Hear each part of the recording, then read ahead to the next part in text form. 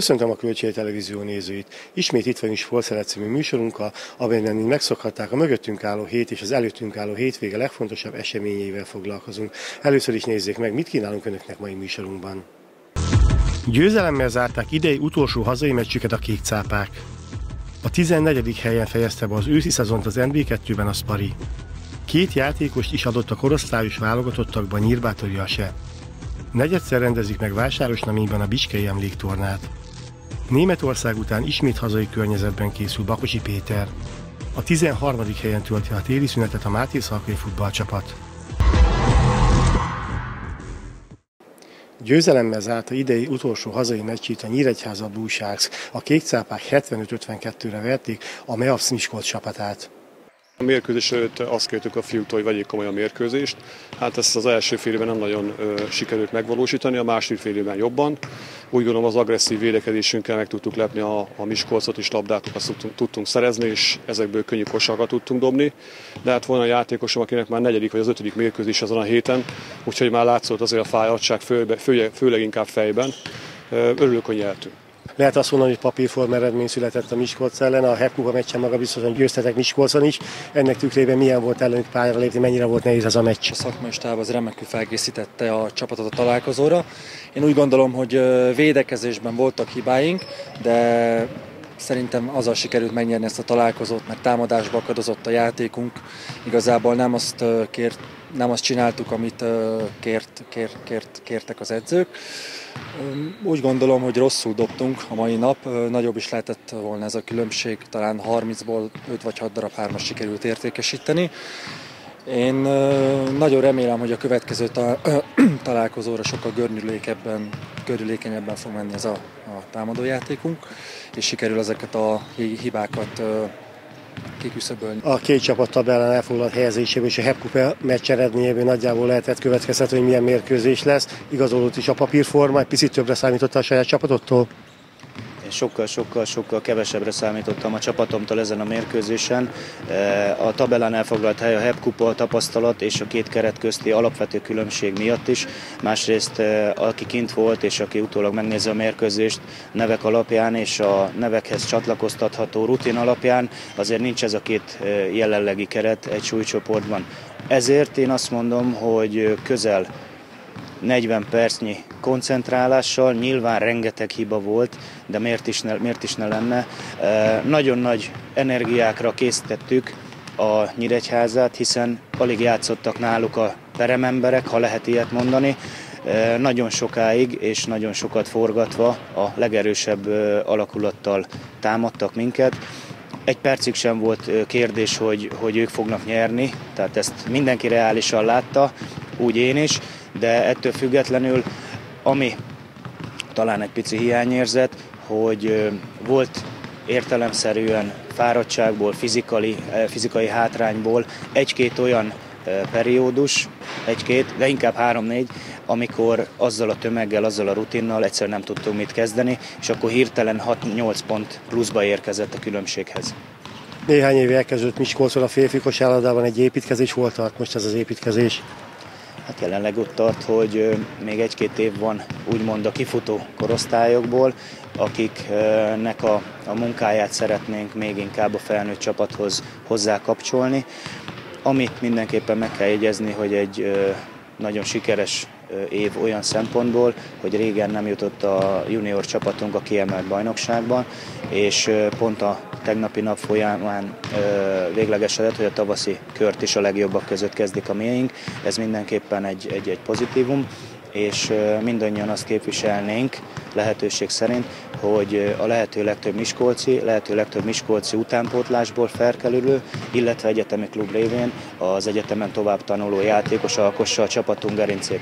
A mai mérkőzésen ez gyakorlatilag elég erősen meg is valósult, és az idei szezonban is, korábban is és a hátra levő részben is ezt szeretnénk képviselni. Hogy ehhez milyen eredményesség párosul, természetes, hogy ez egy zöldfülű csapat, de megpróbálunk mindent, és szeretnénk ugyanúgy fejlődni edzéseken és mérkőzéseken is.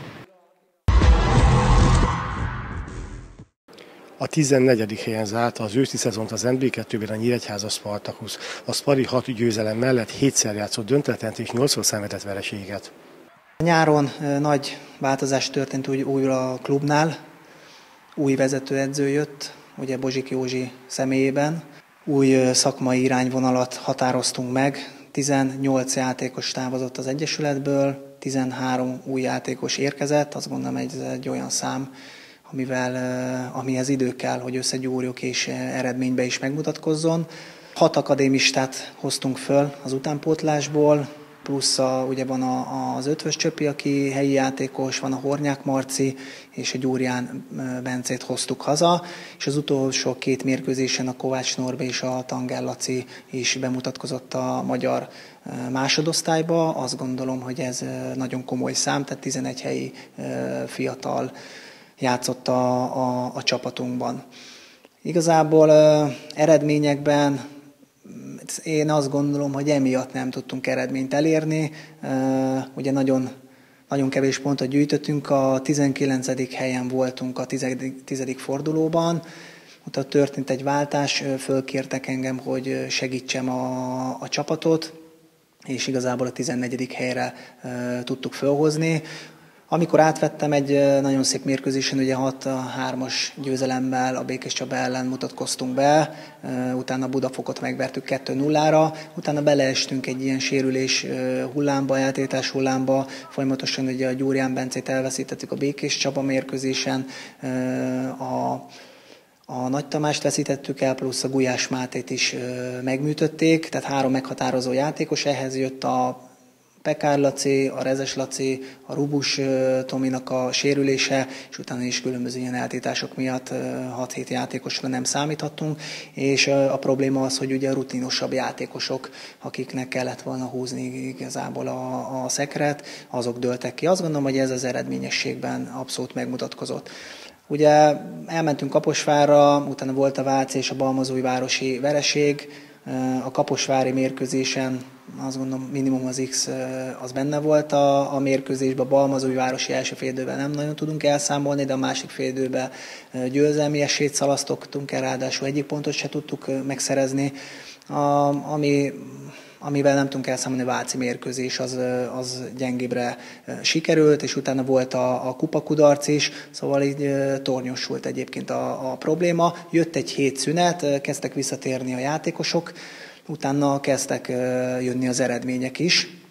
Ugye leigszeltünk Dorogon, és utána négy mérkőzésben gondolkodtunk, négy mérkőzés után, vagy négy mérkőzés előtt 8-7-8 pontot határoztunk meg, és 10 lett belőle, ugye az utolsó mérkőzést, ezt ismerjük, ott a 94. percben kaptuk a gólt, majdnem 12 lett belőle. Én azt gondolom, ami a csapatban volt itt a végén, azt kihoztuk belőle, öt győzelem, három döntetlen és három vereség szerepelt. Hogyha ilyen arányban telt volna az egész őszi szezon, akkor, akkor talán ott lennénk a, az első hely valamelyikén, de sajnos nem így lett. Azt gondolom, hogy a csapat egyébként erős,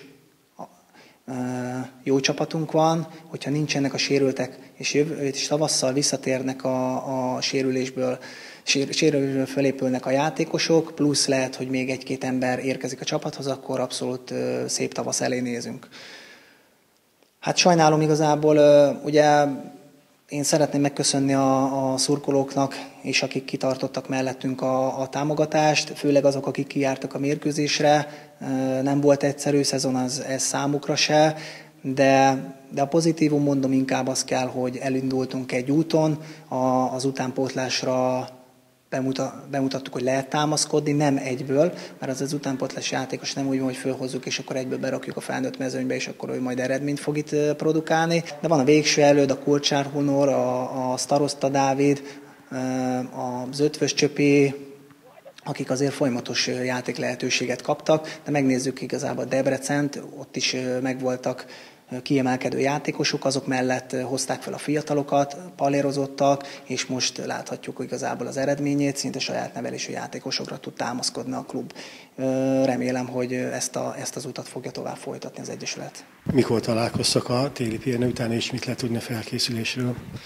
Január 3-án találkozik a, a csapat újból, és van itt egy, egy kéthetes fölkészülés, másfél hetes, és akkor 13-án utazunk két hétre edzőtáborba, ott négy felkészülési mérkőzést játszunk, nemzetközi mérkőzéseket, majd hazajövünk, van egy hét még a fölkészülésből, és utána már el is kezdődik a bajnokság február 3-án, az ugye azért a pályaviszonyokat nézve, meg az időjárás körülményeket, nehezen tudom elképzelni, hogy elkezdődik a bajnokság, de, de hivatalosan ez van kiírva igazából. Eredményes évet zárt a Nyírbátorias, az utánpótlás nevelő egyesület két játékos is adott a korosztályos válogatottakba. Mozgalmas évünk volt, azt hiszem, hogy minden elégedettségre van okunk, mert olyan munkát végeztünk el, amivel a különböző korosztályos válogatottaknak versenyzőt tudtunk adni. Itt említeném serdülő válogatottba Tölgyes Dorottyát, ifi válogatottba Molnár Dávidot, Hát ugyan a Majoros Bence már nem a e, mi játékosunk, de azért még van hozzá közünk, hogyha hazajön, akkor teljesen természetes, hogy lejön ide a mi edzésközpontunkba, és itt e, játszik. Nyilván, hogy a fejlődést már nem mi tudjuk neki garantálni, hanem a német e, klubja, de az, hogy ő itt van és játszik a gyerekekkel, részt vesz az edzéseinken, az, azt gondolom, hogy minden gyereknek egy nagyon motiváló lehet.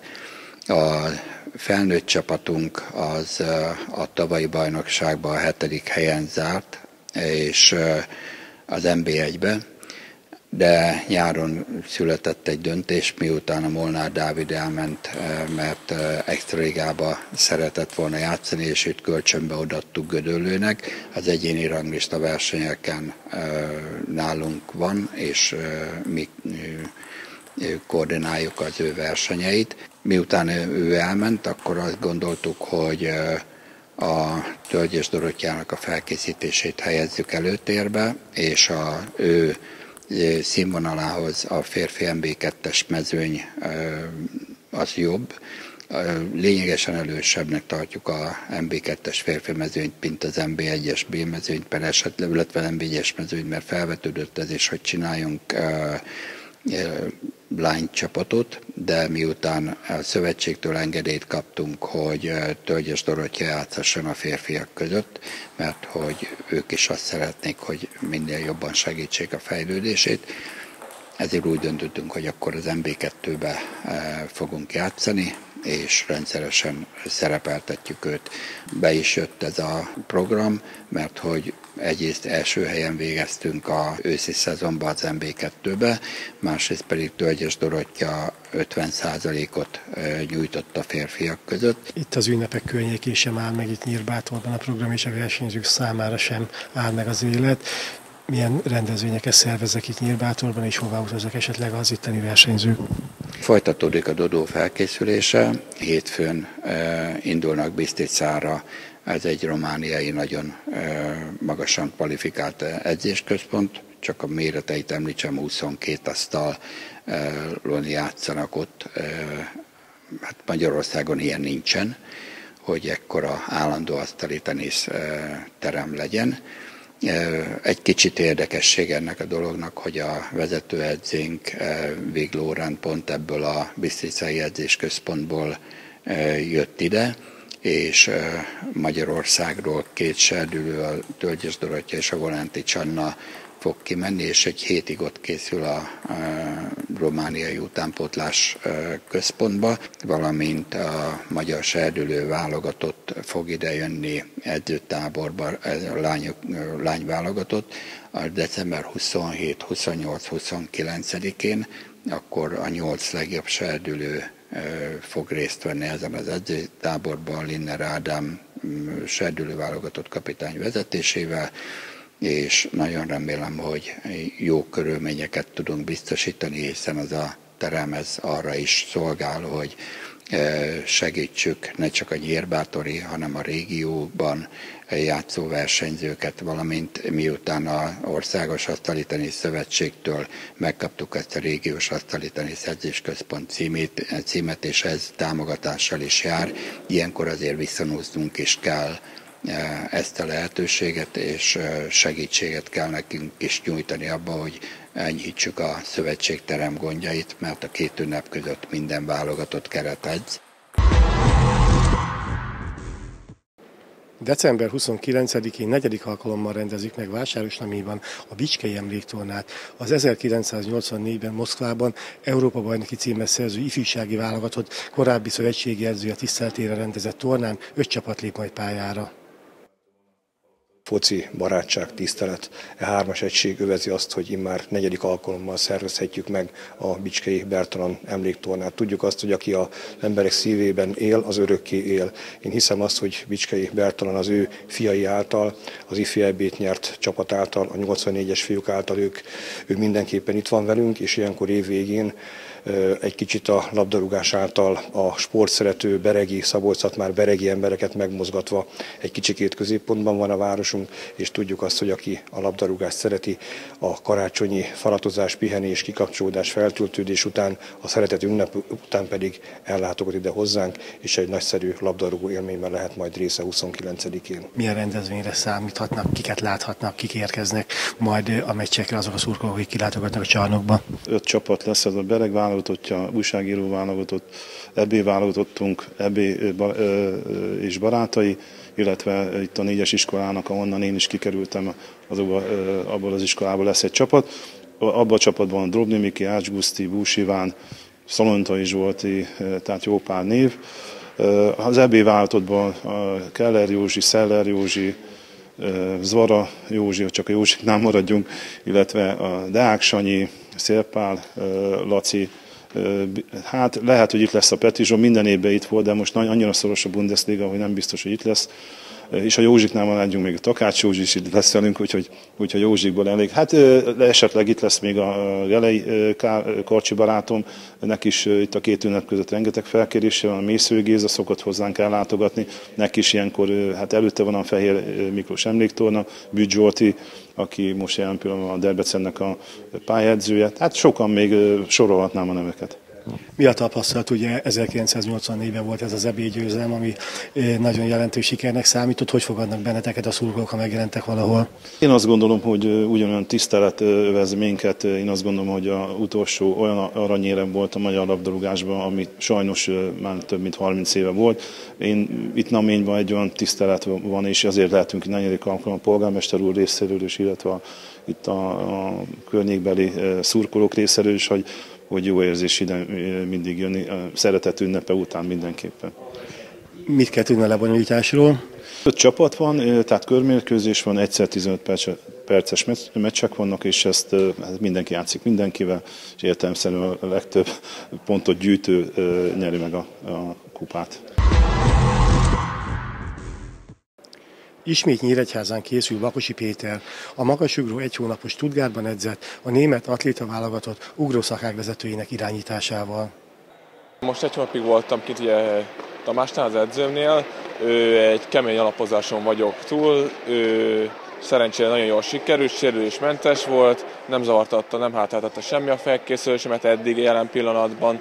Most már áttértünk arra az edzésmunkára, hogy ő több pihenésre és jóval több minőségi munka, elkezdtünk szépen gyorsítani, és ugye mellette fogyni is a januárban kezdődő versenyekre. Kikkel edzették, így milyen körülmények között éltél, hogy telt egy napod?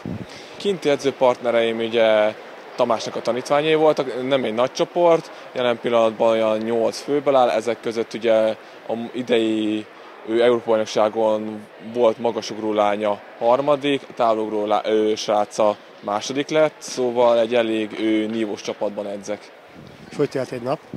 Igazából edzettem, pihentem, tanultam, edzettem, pihentem, tanultam. Szóval elég monoton volt, de ez kell ahhoz, hogy kényelmesen és nyugodtan tudjak felkészülni a következő szezonra.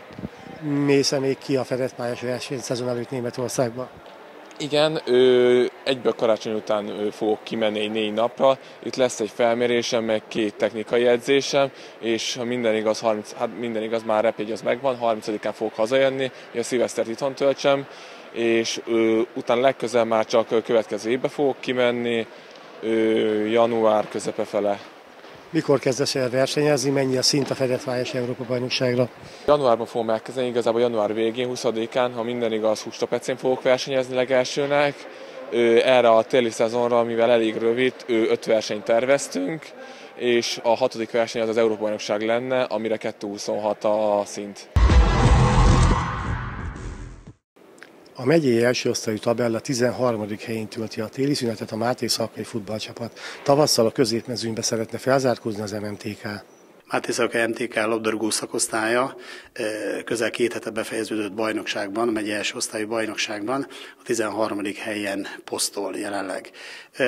Azt mondom, hogy ez nem meglepő nekünk Máté Szalkaiaknak, hiszen általában sajnos az előző évekre visszamenőleg az alsóházban szerepeltek félidőkor a focistáink, illetve edzőváltás is történt. Most sincs ez másképp, hiszen a bajnokság félidejének befejezés előtt négy fordulóval edzőváltása történt. Marius Botán, akivel a nyári felkészülést elkezdték a fiúk, a sajnos az eredménytelen szereplés miatt, illetve az a kontakt, ami egyébként egy csapat és edző között kell, hogy, kell, hogy működjön, valami miatt nem működött, annak ellenére, hogy jól felkészült szakembernek tartom én is, így megváltunk tőle. A gyors SOS munkát ugye a csapaton belül kellett megoldjuk, és a csapat rangidős játékosa Temfli Imre vette át a csapat irányítását. Ez valóban egy komoly lökést adott a csapatnak, hiszen a hátralévő négy fordulóban gyakorlatilag ugyanannyi pontot gyűjtöttek, mint összesen egyébként az azt megelőző fordulókban. Így aztán a négy győzelem és a kilenc vereség azért ellensúlyozza egymást. Gólok tekintetében ugye 20 lőtt és 30 kapott gól, ami, hogyha nagyon megnézzük a statisztikát, akkor ez, ez egy viszonylag egyenletes, kiegyenlített eredményeket mutat, viszont ismét dühítő mérkőzések voltak ugye a bajnokság közben, hiszen a csapat nem roppant soha össze, tehát nem olyan vereségeket szenvedett, amivel azonnali hatája mondjuk az edzőt el kellett volna mozdítani a helyéről, hanem mindig ezek, a, ezek az egy, maximum két góllal, potyagólokkal, hosszabbításból gólokkal vesztettük el a mérkőzéseket, ami csak azt jelezte, hogy valami miatt nem működött ez az edző és játékosok közötti kontakt. Nem Flimrével azért egy kicsikét szerkezetileg is átalakított csapat lépett pályára, másrészt valószínűleg a motiváltság is sokkal jobb volt. Ennek hatására ugye az utolsó fordulókban be tudtuk gyűjteni a pontokat. Nagyon fájó számomra az, hogy gyakorlatilag a bajnokság vége felé a tabellán utánunk álló két csapattól szenvedtünk vereséget, a Csengertől és a, és a Gyulaházától.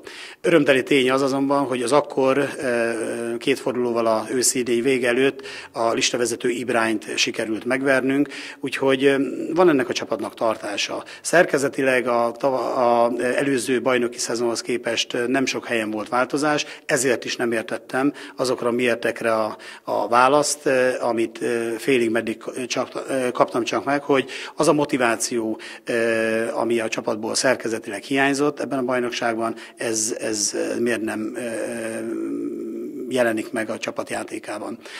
Emellett azonban örömteli tény az is, hogy nem csak a felnőtt csapat, ami fókuszba helyeződik itt a Máté Szalkai MTK-n belül, hanem az az utánpótlás nevelés, ami évről évre viszont kiemelkedő. Azt kell mondjam, hogy a U14-es, 15-ös csapataink MB2-es bajnokságban, az U17-es, 19-es csapataink pedig az MB3-as bajnokságban szerepelnek. Ez azért fontos nekünk, mivel egy tauszható sportágról beszélünk. És ebben a TAO rendszerben már itt félidőben ezek említett négy csapatból három előkelő helyen végzett, és ezen statisztikai alapján megalapozhatjuk a jövő évi TAU alapunkat, hiszen ez az eredménycentrikusságra épül a labdarúgásban a TAU kiosztásoknak az aránya. Úgyhogy ezek a csapataink jól szerepelnek. Elmondhatjuk azt is büszkén, hogy évről évre újjá kell építeni ezeket a csapatokat, hiszen a Nyíregyháza, a Debrecen és a Kisvárda MB-s csapatai azért a legtehetségesebb gyerekeket ugye elszippantják tőlünk. Emellett természetesen U7-től egészen U19-el bezárólag az utánpótlás csapataink 22 csapatban versenyeznek, ez közel 200 gyereknek a versenyzését jelenti. Örömteli tény az is, hogy a TAU beruházások kapcsán már három olyan füves pályával rendelkezünk, amely automata öntözőrendszerrel van beépítve, szivattyút tudtunk beépíteni most a, a legutóbbi TAU rendszerünk kapcsán. Úgyhogy azokat a tereket, ahol itt a mérkőzések zajlanak, és nap mint nap telemérkőzésekkel, hétközben is telemérkőzésekkel vannak a csapataink, így egyre inkább ugye itt a lehetőségek teljes mértékben biztosítottak számukra is. Természetesen azzal, hogy a felnőtt csapat két hete befejezte a bajnoki szereplést, és januárban kezdi meg a felkészülést a következő bajnoki e, szezonra. E, ennek ellenére azonban nem áll meg a futball élet Máté Szalkán, hiszen futszálosaink, 8 futszál csapat van utánpótláskorú versenyzőink, a megyei bajnokságban rendszerint szerepelnek a múlt héttől kezdődően egész március közepéig. Ugyanakkor a felnőtt csapat felkészülése, ami január 15-ével kezdődik hivatalosan, ezt megelőzően a megye legnagyobb teremlabdarúgó tornáját, ami létszámában és pénzdíjazásában is a legnagyobb, a Szízó kupa, itt Máté Szalkán ismét megrendezésre kerül, ugye január 10 és 13-a között, ahol már a felnőtt csapat egyfajta rákészülés, ráhangolódást ezen a tornán is szerepelve részt fog venni. Úgyhogy én úgy gondolom, hogy összességében, és nekünk itt Máté Szalkán a száz éves jubileumhoz közeledve elsődrendű, és font, elsődrendű célunk és fontossági sorrendünket követve következetesen évről évre ezt csináljuk, hogy az utánpótlásban minél több gyerek élvezhesse azt a gyönyörű sportágat, amit mi futballnak nevezünk, ugye, és egyre több tehetség ezáltal, akár magasabb osztályokban is szerepet kapjon a jövőben.